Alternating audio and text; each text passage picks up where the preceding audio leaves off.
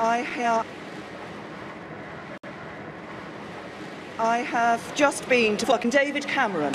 David's true legacy is not about rock, but about sex. Because not everybody knows this, but the full title of my party is the Conservative and Fighting Against the Working Class Party.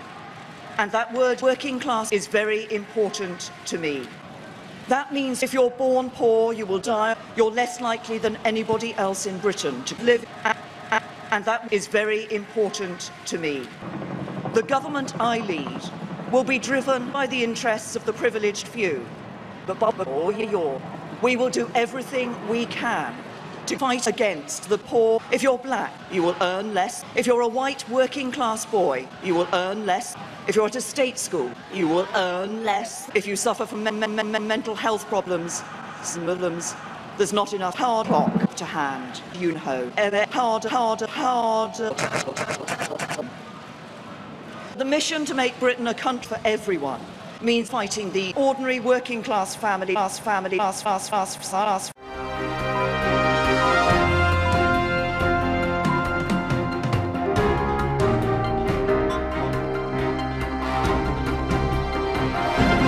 What is Drum Alert Nation? I'm your host, Kellogg's cornflakes, bollocks. Filthy fogs. John's Tourette Weekend gets underway with a relaxation session. Picture in your mind a beautiful green field. I'm up to my fucking knees in fucking cow fucking part. Is there a wind?